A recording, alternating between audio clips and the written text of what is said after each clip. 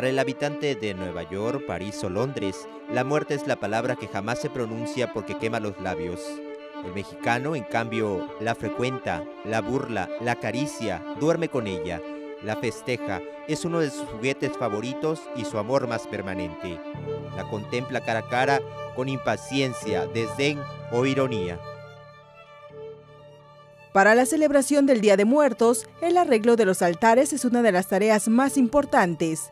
El cronista de Tuxtla Gutiérrez, José Luis Castro Aguilar, detalla que la religión católica fue la que adoptó este tipo de ofrenda a los muertos, y es que en Chiapas, las etias mayas, Soque y la chiapaneca lo hacían, pero en el lugar en donde fallecían sus familiares. La religión católica eh, canalizó eso, este, esta forma de ofrendar, y se empezó a hacer a través de las mesas de madera dedicadas a los santos y posteriormente en la medida en que fue evolucionando estos altares se empezaron a hacer de tres niveles para representar al Padre, al Hijo y al Espíritu Santo. Dentro de la cosmovisión indígena, particularmente la Soque, eh, y creo que las demás, los demás grupos étnicos también, en el caso de, de las flores de, de cempasúchil o de las flores de muerto, que son amarillas, de un amarillo intenso, era una forma de significar la luz ellos tendían un, como un tipo de tapete lleno de flores para que pudieran aterrizar eh, sus fieles difuntos. Conforme al paso del tiempo, utilizaron también velas o cirios y actualmente veladoras, siendo esta la luz que le dedican al difunto para alumbrar su camino. El incienso sirve para limpiar el ambiente en donde llegará a visitar el alma.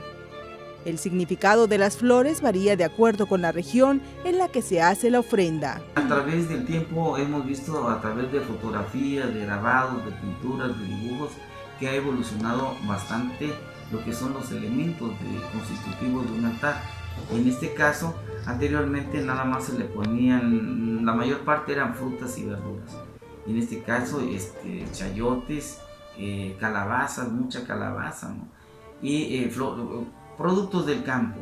Posteriormente se le empezaron ya a agregar algunos otros elementos como la comida ya elaborada, el cochito, el arroz, la sopa de pan, incluso eh, ya se le incluyeron en algunos muertos que les gustaba tomar, eh, ya se incluyó la cerveza, la tequila, eh, el cigarro.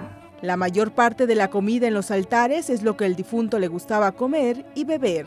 También en los años 30 es cuando empiezan a figurar en las ofrendas las fotografías de los familiares fallecidos.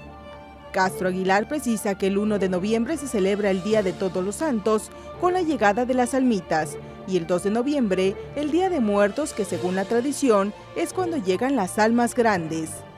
Con imágenes de Alfredo Gómez, Beatriz Cunjamá, 10 Noticias.